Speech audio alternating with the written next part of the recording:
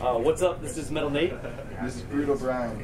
and we are here with Rou, Rory, and Chris from Enter Shikari. How are you guys doing today?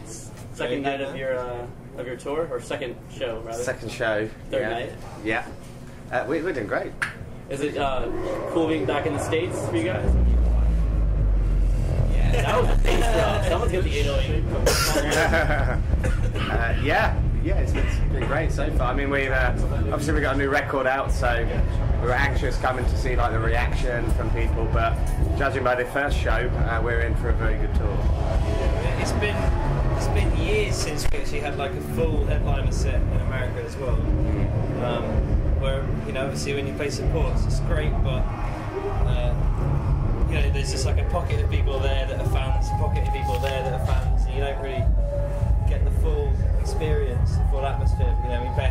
obviously everyone's into it, so.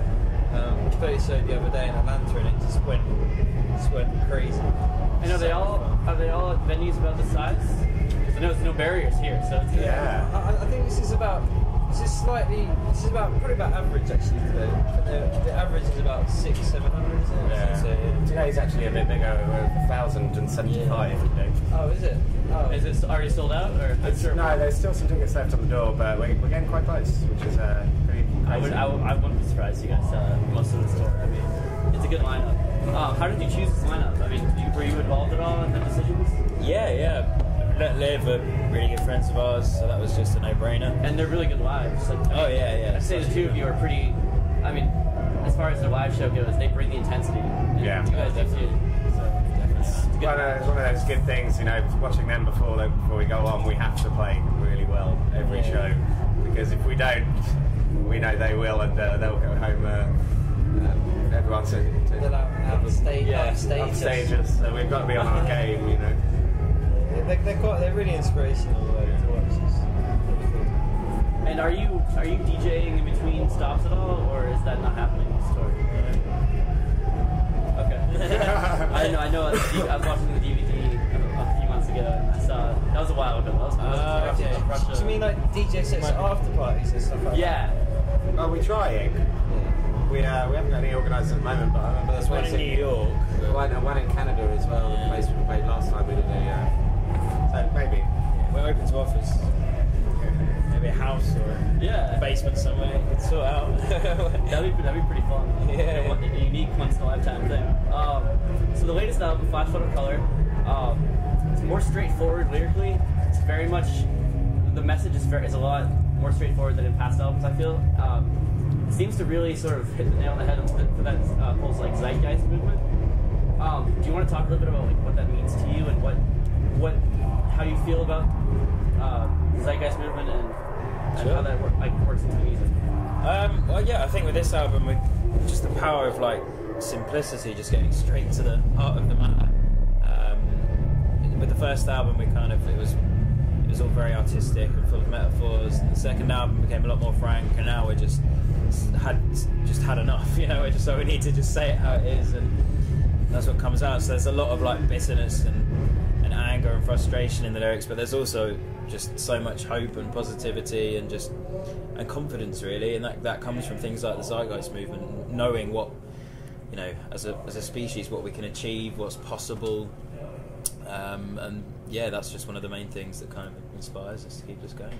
and sort of like transcending nationalistic like boundaries and views and sort of just uniting as, as like one people to sort of conquer the Yeah. problems that were that that were that are facing us Just all trying as to- humans. trying yeah trying to give everyone a bit of perspective really trying to it's one of the hardest things to do is just to think like completely objectively just to step out from your your normality and just look at society and look at you know how we live our lives and, and think about how we can do things better And uh, on the album, it's a lot more melodic. It's um, not maybe not as heavy. Was that like a risk at all to you guys, or do you think do you think it's paid off? I mean, it's not it's not as screamy as past albums, perhaps. On the on the whole, if you want to look at like song by song, some of them are heavier than others. But I, I- I guess it's just like um, sometimes with that screamy sound, um, or just or just screaming, it, it kind of it doesn't always sound quite as passionate as when you're like shouting to the point where your voice is breaking up and you're almost screaming. Like we think that kind of makes things sound more passionate and more Mm. powerful As as more well. audible, I guess. Because when when there is a, a lot of message in the in the lyrics, it's you know we want to, we want the lyrics to be heard. Uh, it's a, you know, it's a, that is a, another point of it. Um, I think as well, like we just we listen to so much music nowadays. We, we really wanted to cover every sort of uh, the whole spectrum of what Shikari can do, like sound wise. And Mm. So this album went to do that. So I, I mean, I will say, it definitely shows the vers- your versatility, and songs like "Search Party" and "Pack of Thieves" are just so up, like uplifting and fun, like just fun, like to listen to. Um, Thanks, man. Cheers. When you were finished to, and like finished with the album, recording it, all mastered and everything, did, did you sit down and listen to it and just think, "Wow, this is like awesome"? Do you have any like Yeah. ideas for that for six months actually. It's like- because for all uh, of Warped Tour, it's like Well, we yeah we had it finished by Warped Tour. We mixed it on Warped Tour because um, there's a guy called Mike Fraser who was mixing it in Canada.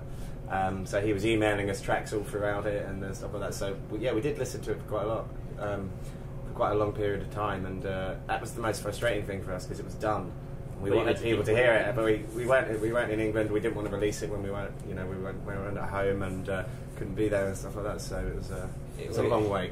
I, I reckon we had the excitement of a chicken. It's just laid an egg and it just has to sit on it. Yeah. Just for ages, just keeping it warm, just waiting for time that it hatches. It was, it was a very frustrating time. Well, now that it's hatched and you've got the, this this chick that's grown into this, this full this full feathered chicken. Um, I mean, are you get, you said you got a good reaction in, in Atlanta. Yeah. Um, I, I assume the reaction's been similar in the UK as well. yeah. Yeah, it- it's it's been the, the reception to this album has probably been better than reception to any other albums. Yeah, just the, the speed that people have, you know, come to uh, got to get grips with it, and you know, we didn't expect people to be singing the lyrics back of this the day it was released, but you know they were. So. And uh, moving forward, then I know uh, this there's about like a little more than two years in between this album and the last album. Um, it's it's not it, it's a it's a full album in the sense that it leaves you satisfied at the end, but it definitely leaves the listener wanting more. How long do we have to wait for an EP or something to tie this over? Your guess is as good as Yeah. mine. The Uh, thing is with us is that we're lucky enough to be able to tour in lots of places. Basically, you know, to be reasonably popular in lots of different places. Um, so, I mean, in all honesty, there's just not enough months in the year for us. Uh, so it takes us probably about 16 to 18 months to tour to tour properly uh, for an album. But saying that, whenever we are at home, any spare moments we get, you know, we, we go in and we try and record a song here and there, and so I'm sure there'll be one-offs to, to uh, tide people over. We're, we're probably going to release a couple more songs as singles, or like, Yeah. or, or, which pretty much nowadays just means make a video for it. um, and and after we've done that, um, once people are getting bored of the album, we'll throw them a bone. So you're just gonna sort of hold on to those until absolutely necessary, and that's a good that's a good well, well, strategy. well, well, I mean, t- pretty much until we got time, like Chris was saying, really. I mean, like that's the great thing about like the music industry today is, is that it doesn't have to be a plan. You know, we can do whatever you want. You can release a song by itself, and it doesn't really have to tie in with anything. You can just do it. Um, so, yeah, when the time is right, when we can get into a studio, we will do. Fair enough. And um, how do you keep up with? Like, do you keep up with? You must keep up with uh, global events, like current events, while you're on tour. Um, and I guess I was wondering, what are your what are your opinions of the situation right now in Syria, and what do you think that, coun- like, what's the responsibility of larger countries like the U.S. and like the UK and the UK, and what should we be doing Mm. in that situation, if anything? It's a tough one because it depends how how deep you want to go. If you want to speak about it within this system, or if you want to like deconstruct the whole the whole thing. Because again, like like you were saying earlier, and like talking about the first the lyrics on the first few songs, like borders, you know, artificial boundaries of countries. Um, and as soon as you have them, you have the power structures and the hierarchies. Uh, and when you have that, you're always going to have problems, really. Um, I think we're, we're kind of trying to endorse a, a powerless. You know, if, if there was real education, you wouldn't need someone in charge. Like, how can one person be in charge of everything? It, either this guy has to have the brain of a supercomputer, or you know, it's just the whole thing is just silly. It's it's a very primitive way of structuring a society, and I think we will eventually grow out of it. But Do you think that will be within our lifetimes or far in the future? who knows? Who knows? Uh, I mean, obviously, everywhere you look, there's a crisis right now. You know, I think it's going to have to take some serious system meltdown. I'm not. No, no, I'm going. To, I'm not just shielding it. It's going to have to take some serious sort of like you know breakdown of uh, of everything before you know you, you can rebuild it. You know, people say you, sometimes you got to hit rock bottom before you bounce back up. And I don't. I don't know. I mean, I don't. Yeah, I think it's going to take something horrible to happen. That's such a shame. Okay.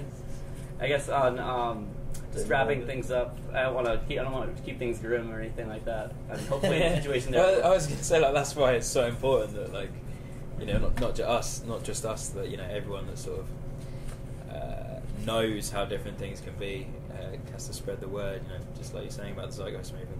That's why it's so important. So before there's fucking World War Three or all the oil runs out or whatever it is that's going to happen, we, we have a have an idea of how to address it. And um, do you? So do you have an optimistic view then? Do you think that? Cause, I mean, the Zeitgeist movement is pretty optimistic, but it is also very much presenting the dire consequences, like as they are going to be. Like this is what's going to happen. We need to do this. Yeah, I mean, you, you have to be realistic, but I, I think it just is education, really. Once- Once people realise how different things could be, and uh, you know, these crises don't need to be happening. Um, I think people will just easily float towards Mm. uh, the new a new structure. Okay. And um, on the topic of cheesing, is that still is that still a problem for you on this? Oh So yeah, cheesing. oh yeah, cheesing. Well, you got the cheese board over there. Yeah, We got a lot of We cheese. got a lot of on cheese. it's already been munched quite a bit. Yeah. It's a constant problem for us. I noticed it's, it's, it's a common theme in the, uh, the documentary on Yeah. Life of Planet X. Yeah. Yeah. Um, you haven't got any on you, have you? I, I don't. I, I don't. My, bro- I got my brother has it at home actually. We imported it. Uh, they haven't released it in the U.S. yet. Uh, Oh. I I heard this was all burnt up during the riots or whatever. With the Um, cheese. Oh yeah, I was talking Oh, about I remember cheese. cheese. Yeah, yeah. No, Oh, that makes a lot more sense.